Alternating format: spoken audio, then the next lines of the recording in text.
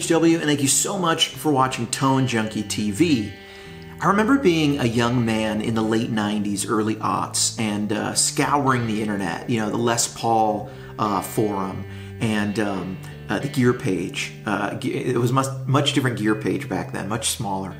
And, uh, you know, places like Harmony Central. And I would always hear these, these guys talk about blackface Fender amplifiers and how they were really the holy grail of, uh, of American clean tone and sort of some of the best Fenders ever made. Obviously, there's love for tweed and brownface and stuff.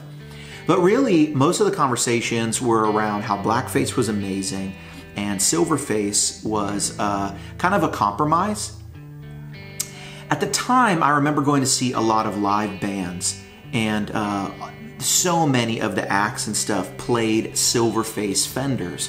And that makes sense. Silverface amps were a lot cheaper. In fact, now, even even now, late 70s Silverface stuff is just not that desirable. Pretty much you get to 75, 6, uh, 7, 8, 9, you know, all those later Fender years just go for so much cheaper. And there's a lot of interesting designs there. You know, they did some things that, that haven't been loved by players, but one of the things I've noticed compared to then to now is now a lot of people view the early Silverface stuff as not really lesser quality, but sort of a viable alternative and just a different voice and that those circuit changes that were made sometimes are better. Um, Silverface amps have been loved around Nashville um, for a long time, especially for some of that Tele twang tone, but of course, there is no uh, shortage of love for traditional warmer blackface stuff. Where I have seen the biggest change is in the sort of drip edge, the 68 and sometimes on some models 69, the drip edge. And drip edge refers to the white piping that goes around the edge of the grill cloth on uh, those very first model Silverface amplifiers. So, when I was shopping for some amps to make some profile packs with, I found a couple of Princetons and I wanted to compare the silver face to the black face because I've sometimes heard people say that these um, these Silverface amps, especially with the drip edge, have the least differences or are closest to blackface circuits. Now that varies a bit, and you got to understand that Fender, Leo Fender was a notoriously cheap person. He um, he went so far as to reuse his styrofoam coffee cup. Um, he was, I shouldn't say cheap, he was frugal. And a lot of his designs have frugality in mind. A couple instances where you see that. Fender guitars are designed to have the necks replaced. Why? Because it's so much cheaper to replace a neck, unscrew it, and sell somebody a new neck than it is to refret, you know, a guitar. Especially because you can only refret a guitar so many times before you have to replace the neck anyway, or at least give it a whole new fretboard. Another instance is the 1964 Tuxedo Princeton. This is an amp where um, literally Fender had designed a new Princeton or had designed a new uh, cosmetic, uh, the blackface, you know, amps. But they made this tuxedo version in 1964 because they had so many parts left over from the brownface Princeton that they said, well, we just need to keep making these amps until we exhaust these parts. And that's commonly what they did. You saw that a lot in the brownface era and the tweed era of Fender you didn't stop using parts until they were you were done with them. You know, you didn't just throw parts away. So those tuxedo fenders are, are identical to the the, uh, the earlier brown face ones. So 64, even though it's a black face, you get a uh, really a brown face fender uh, in sort of a dressed up formal tuxedo package. I'm sort of wearing a tuxedo outfit right here. Okay, well let me show you these two amps I bought. Um, they're beautiful. One is a one is a 65 and one is a 69. Let me flip this camera around. Boom, here is an original 1965 uh, Princeton amp, not the Princeton Reverb, uh, not a big deal, just doesn't have reverb. Um, this is actually an amp that is just like uh, one of the amps that my grandfather bought when he was playing guitar. Uh, when he was younger than me. That, that, amp now belongs to a cousin of mine. I got a different one of my grandfather's amps. And here is a 69 uh, Silverface is the first year of Silverface, and you can see the drip edge that goes along here. Um, these are really beautiful amps. Now, there's a couple things that are different about um, these amps from each other. One is the circuit is slightly different, but the second is if you look in the back at the speaker itself. Okay, so in the 65, you can see this older, this is an older Jensen made uh, Fender branded speaker. Fender used these on all the blackface amps um, at first, and slowly, even in 65, before they sold the company, um, or maybe right after they sold the company, um, they started using some of these Utahs, these blue label Utahs. You can see a much smaller magnet. And this is one reason that these two amps can have sort of very different voicings. I'll tell you, uh, I'll spoil it for you. The um, sort of the idea that Silverface amps are brighter than Blackface is really not without merit. It's kind of true. All right, so here we are in Rig Manager, and I've got the 65 Prince 3 pulled up. Um, this is about just the amp on like six or seven. Um, kind of cranked, you know? I mean, it's getting up there. It's a little more than halfway. But it's the 65. It's the blackface one. Um, and this is with the internal cab, and you can see right here I used a Fathead and a 545. And it sounds like this.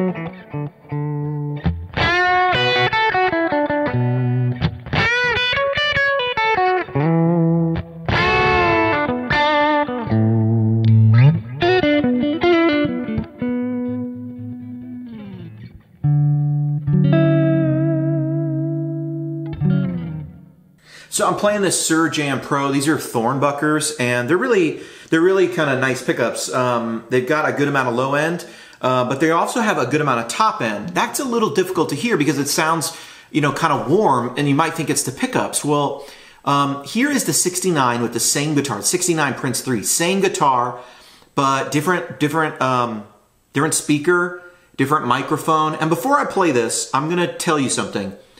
It might sound like I, I could be exaggerating the difference in the brightness here with mic placement.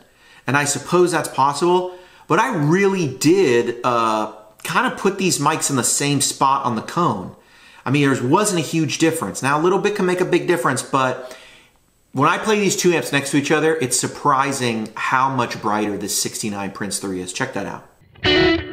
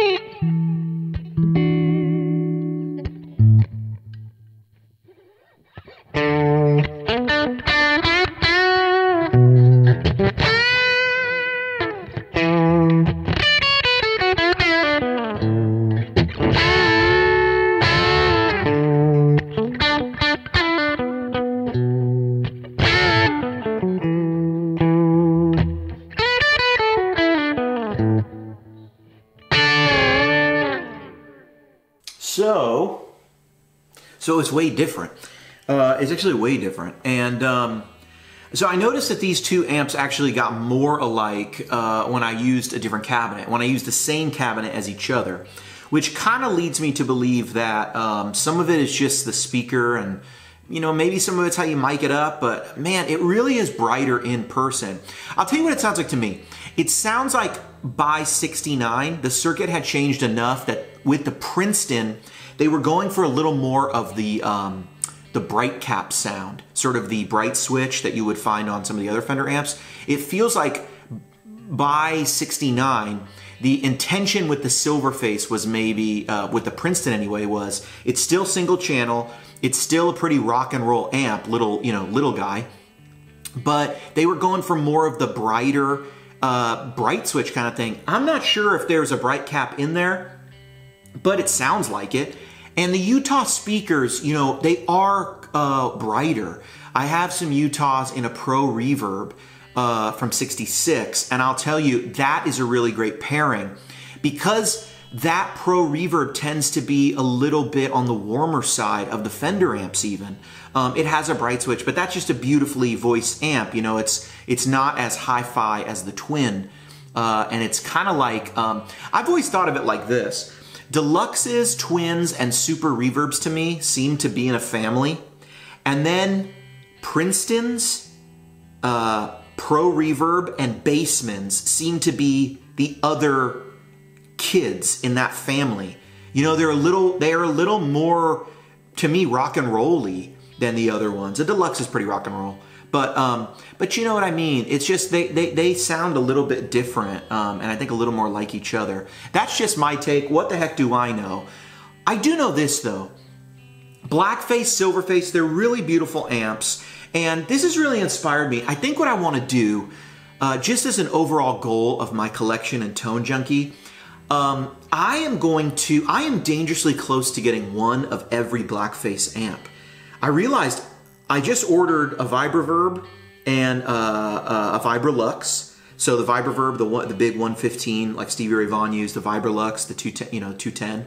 I've done a Silverface Vibralux for the Kemper before, but um, since there's some new platforms coming out and stuff, uh, my goal is going to be every Blackface amp and make a make like a whole pack of just that. You know, four, three to four profiles of each amp of every blackface that was in 65. So I'm gonna need to still get a Tremolux and um, a super reverb. I've done super before, but I'll get one again.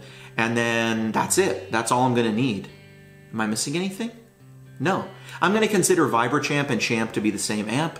Um, but that's going to be it. And then the next goal after that will be to get every 1969 or 68 drip edge amp and compare model to model and really compare the whole thing.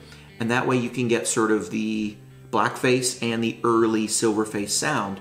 Now there is still a question of speakers. You know, by 65 they were using Utahs and stuff. Um, they kept using Utahs for a little while, but but um, you know before that there were some different speakers. Obviously, uh, you know, there's Showman, that like the Showman I have is a 215. They made a 115 cab. The Bassman can have a little 212 or a big 212. There's so many, there were so many variations actually. I don't know if I could ever cover them all. Uh, but you could. You really could. And you know what? Maybe I'll throw a 64 Prince in there since that's kind of like the brown face thing. Anyway, I really enjoy these um, amps. I really enjoy these profiles. And if you're interested in checking those out, you can you can find them at ToneJunkieStore.com. I kind of think though this 65 Prince 3, which is actually free, uh, in the Tone Junkie emails. If you didn't get it, you're not signed up for the emails. If you did get it, go back and play it. But uh, it's actually one of my favorites. I've been HW. Thanks so much for watching Tone Junkie TV. HW! Ow!